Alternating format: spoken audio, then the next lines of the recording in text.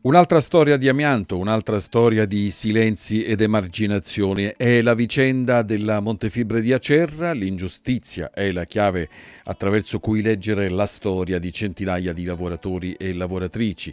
Dopo il licenziamento, la malattia, l'asbestosi ed anche il mancato riconoscimento per 200 di loro, troppo giovani per andare in pensione e troppo vecchi per essere reimpiegati.